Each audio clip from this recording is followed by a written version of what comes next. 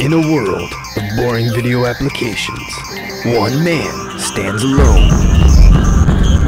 For the last two years, I've been traveling around North America with nothing but a backpack full of technology, sharing one adventure after another with the entire world.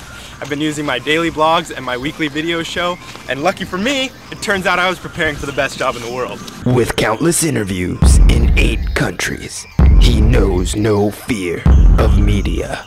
I know how hard it is to build an audience, but I've done it with consistent, high quality content. Pre equipped with the world's most adventurous significant other and two time Ironman competitor. Most importantly, I've traveled every inch of the US and now I'm dying to experience the wonder of the Great Barrier Reef. There's giant clams, dwarf whales, and wonky holes. Who wouldn't kill to experience a wonky hole? I have to see these things.